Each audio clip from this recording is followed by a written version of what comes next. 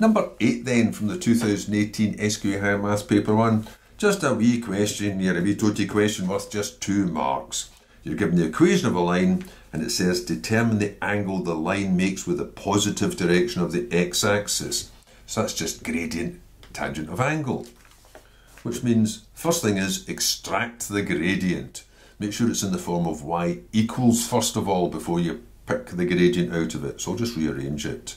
So y would equal root 3x minus 5.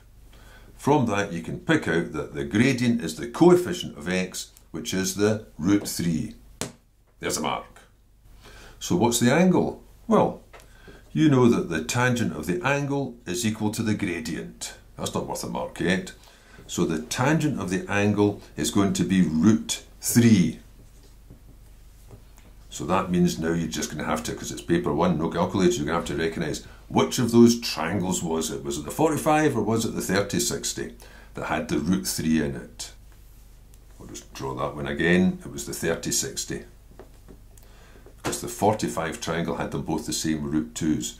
That's the 1, 2, root 3. 1 for the shortest side, 2 for the longest, and root 3 for the middle side. So which angle, which of these angles has got root 3 for the tangent? The tangent has to be opposite, opposite over adjacent. Root 3 is opposite the 60, so it's 60 degrees. Unless you wanted to go fancy and put it in radians and write pi upon 3. That's the.